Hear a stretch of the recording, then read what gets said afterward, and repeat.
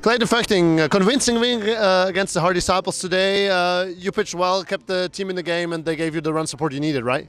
Yeah, they did. Uh, you know, the bats came alive today, um, and I was able to throw strikes and just do my part, and the team did, their, did their part, so it was good. Was it good to really turn it around right away after that close loss yesterday? Absolutely. I mean, you know, when you get walked off on, it's tough. So to bounce back and put up an eight spot, you know, in one inning, that's that's really good.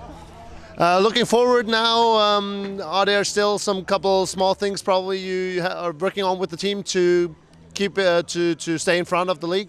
Yeah, you know, just I mean, just doing the little things, man. Um, you know, you do the little things, you get the job done. So. All right, thank you very much, Clayton. Good luck for the next games. Thank you.